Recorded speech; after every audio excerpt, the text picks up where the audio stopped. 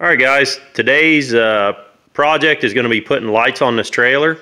Uh, I've done another video uh, wiring up a trailer that was a little more extensive than this one's going to be, uh, but this might give you guys some ideas on wiring up a simple boat trailer. This does not have brakes, so the axle, and what all that means is uh, the axle itself doesn't have a braking mechanism on it. You rely solely on the tow vehicle for braking.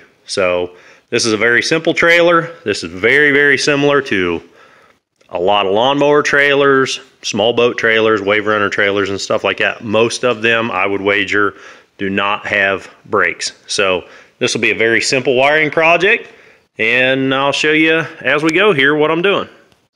I'm trying to piece together enough stuff uh, that I don't have to buy anything to make this uh, wiring on this trailer. I've got a couple of good tail lights. This is the guts out of one of the lights and I'm just testing it to make sure it's good. Uh, they look good. The sockets look nice and clean. They're not all corroded and everything. And how I'm testing it is uh, I've got my, my uh, leads, just a couple of alligator clips clipped on a battery, just a 12 volt. Just happens to be a deep cycle battery laying there in the garage. And come up here, attach the negative to the white wire. And when we put uh, current to the brown wire, we should see it uh, like a low glow out of both of these lights. This will be a side marker light. This will be the main tail light. So we get a glow out of both of them. Now if I touch the green light, you'll see it get bright on the tail light. See how much brighter that is? There's low, that's running light, that's brake light. Running light, brake light. Considerably brighter. Now the green means this would be for the right hand side. As you're facing the rear of the trailer, this, this light fixture should go on the right side. If it had a yellow wire, that would indicate that it should go on the left. That's kind of a standard wiring. Now you'll get some of these cheap kits that they use pink and red wires and stuff like that, but nine times out of 10, your standard wiring is white ground, brown running, green is right turn and brake, Yellow is left turn and brake. So that's what I'm working on now. Well, you can see I got my tail lights mounted up there. You can see the wires peeking out from behind them. Uh, I left just a little bit of a loop in case uh, something ever comes up. You know, if I got to rewire a tail light or something, I left just a little bit of loop.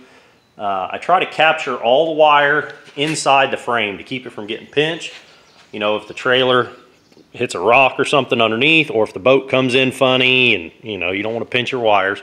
So do the best you can to keep them tucked up out of the way. See all the uh, snipped off ends of wire ties. I just use wire tie to kind of capture them inside the channel. This is uh, like a C channel. Um, so keep them away from sharp edges if you can help it. Um, pretty, pretty tidy up through there. When I get up here to the front, I start at the back. First thing I did was mount my tail lights and then I start pulling wire I kind of, I guess I'm back and forth. But I mount my tail lights first, then I start pulling the wire, and I pull the wire all the way back, and I pulled all four wires over to this one side. So the green, I just continued on around the corner, and the green stops at that tail light. Um, the other, excuse me, the other uh, white, brown, and uh, yellow all make uh, connections here to this side. The green, it's not snipped. Um, you can see how I, well maybe you can, maybe you can't. So the brown comes back here. Rather than using those blue splice, T-splices, I hate those things. Um, I would much rather bring a wire back, cut it, put it into a butt connector with some heat shrink tubing, and then make it come out the other side so that's how I kind of do a splice. Um, I use butt connectors and I squirt uh, dielectric grease up in all my butt connectors. So uh, it keeps them pretty weather tight and I don't have, knock on wood, I don't have any trouble out of the connections I make. Now when I come up here then, so I wired the tail lights in, then I kind of tidied up the wire. I pulled all the extra out of it as I work my way up, as I'm wire tying to the frame and I get all the extra worked out, all the wrinkles, all the kinks. And when I get up here then, I decide how long I want to be to uh, attach to the truck. Um, so I, I leave about, oh, I don't know, about 18 or 24 inches out in front of the ball. And uh, you figure if, if that were the truck right there, that's a little bit of slack. That's not enough to drag the ground, but it's plenty of slack if you get into a tight turn or something, or somebody's got a weird setup on their truck. They got an extra long ball hitch or something. Um, now, when I attach this pigtail, this pigtail um, I found in my uh, junk box, um, rather than cutting, that pigtail's got all four wires coming out of it. Rather than cutting them all four off at the same length, you can see I staggered it. So I staggered my joints so that I can slide it up inside wire loom. If you cut them all off at the exact same length, you got one big old wad of connections then. But if you stagger them, it'll fit up inside that wire loom. All right, well you can see I've got my battery up here again with my uh, leads and I've got the negative clipped on kind of precariously to the white wire, that's the ground, and I've got the uh, positive clipped onto the brown wire, or the, the terminal end of the brown wire. And we can see back here, brown again is running, so we were just double checking that we've got both bulbs are lit up on both fixtures.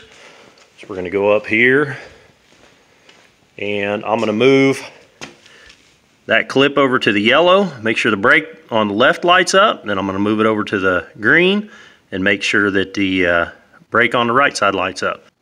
Okay, so we're on, now we're clipped onto the yellow wire. It's kind of hard to see the, uh, the colors of the wires there, but we're clipped onto the yellow.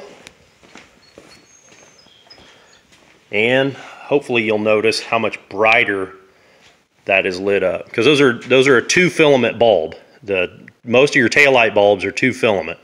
One filament is for the running light, the other filament glows brighter for the brake light. So we got nothing over here on the right, that's what we expect. We'll go up here. We're gonna clip this. If I can do this without shorting everything out. Okay, now we're clipped onto the green, which should be the right side. and our left is no no no juice going to the left so that's right the right side now we can see that just that one bulb is bright the running light is off so that's that's that everything's working fine everything's working just like it should a lot of guys get confused and they kind of think that the brake light is different or is carried on a separate wire than the turning and that's not the case. The truck controls that. Um, whatever magic things go on in the wiring of the truck, um, the truck determines whether or not it's sending back an intermittent signal for turn or a solid continuous signal for brake. So the brake and turn are both carried on the same wire and it activates the bulb in the same way. It's up to the truck or the tow vehicle, was car or whatever, to send the signal back on that wire to tell it to be either a brake light or a flasher. Well, you can see I got the loom on the wires, uh, tidied up the appearance. Uh, it helps to keep all the wires together uh, so that, you know, you don't damage them as easy. Uh, a little bit of electrical tape on the ends, and every six or eight inches I put a little wrap of electrical tape, uh, keeps that loom on there. Uh, I smeared some dielectric grease all over the pins, up in that one female connector and all over the three male connectors. Uh, it just keeps the corrosion down and you'll be a whole lot happier with the performance of your trailer lights. Uh, if I helped you with this one, guys, click that thumbs up button. If you want to see more videos like this, me working on this trailer or other stuff, click that subscribe button. Until the next video, keep on tinkering.